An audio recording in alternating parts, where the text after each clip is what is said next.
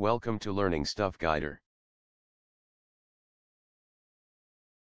Today, we will see how to fix Wi-Fi issues in Windows 10 after free upgrade. This tutorial is present to you by Learning Stuff Guider. Have you upgraded your PC or laptop to Windows 10 from free upgrade given by Microsoft?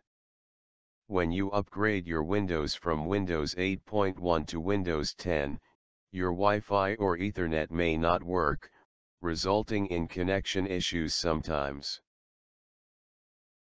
Is there a solution for this? Yes, we do.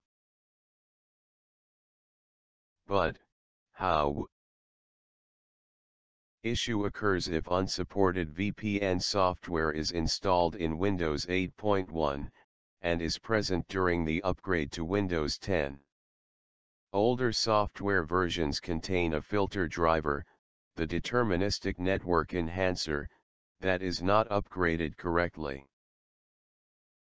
Two solutions we have to fix this, solution step 1, automatic. Solution step 2, manual.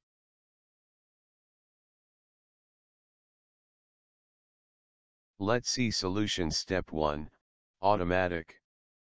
In this, use your manufacturer troubleshooting software to automatically fix the issue. Solution Step 2, Manual. Click Start, and then type Command Prompt. Then right-click Command Prompt, and then select Run as Administrator. And, run the following commands.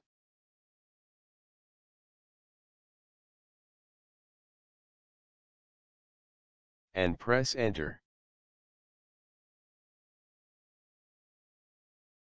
Type the below command. Press enter.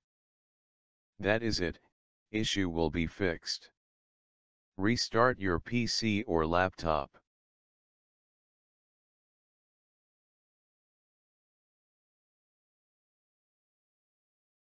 If the issue still exists.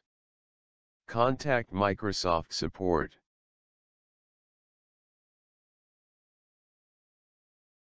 Thank you for watching, hit like and subscribe this channel.